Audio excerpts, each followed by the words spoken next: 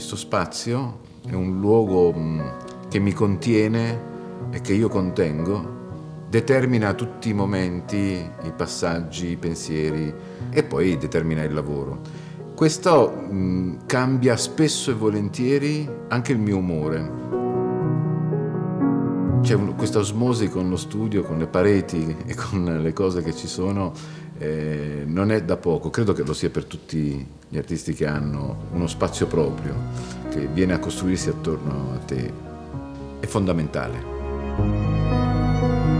Cosa succede fisicamente qui e nella tua testa quando un progetto nasce, incomincia a trovare il suo spazio e a crescere? Lo spazio è diviso anche per ambiti. Questa vezzo di avere le cose in armonia perché mi devono dire, mi devono comunicare.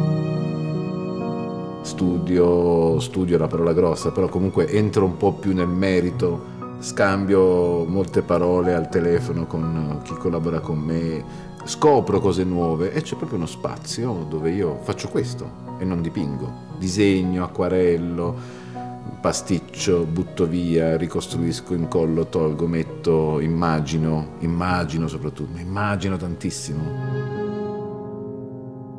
Poi c'è il luogo dove dipingo, poi c'è il luogo dove preparo, e poi c'è il luogo della scultura, c'è il luogo delle chiacchiere. È diviso proprio in questi termini. Ecco che cosa succede. Succede che questi spazi sono stati costruiti perché mi parlino, Sto preparando con la Fondazione Pascoli questa mostra sul Pascoli e ho i libri delle poesie di Pascoli tutti impilati lì, ma perché quelle mi devono raccontare, io ogni volta li devo prendere, li voglio prendere, li sfoglio, poi diventano dei disegni. Ecco, questo vezzo mi serve, è così che nascono poi alla fine i progetti.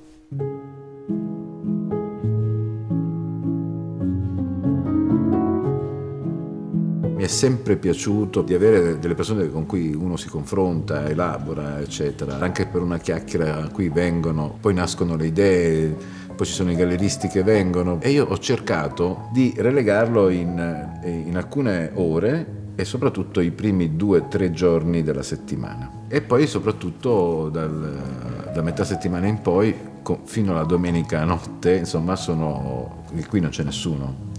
Ma soprattutto io dalle 5 del pomeriggio in poi, un telefono, cose, tutto si, si spegne e sono le ore migliori. Mediamente qua dentro ci sto 12 ore, perciò una parte dedicata all'organizzazione, eccetera, e quella che poi diventa più creativa per me, che è quella serale, notturna, la pittura.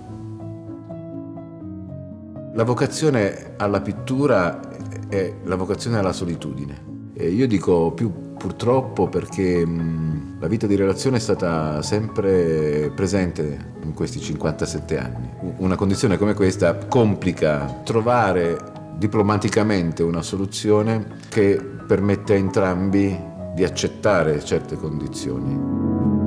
Io non lo chiamo mai lavoro, questa è la mia vita, lo so che può essere retorico. Sai, quando uno dice lavoro, poi a un certo punto dice io però alle 5 ho finito e io invece se penso che alle 5 ho finito mi viene male, no? Cioè, ma non è eroismo, è che proprio è così, cioè non ci posso fare molto, cioè è così.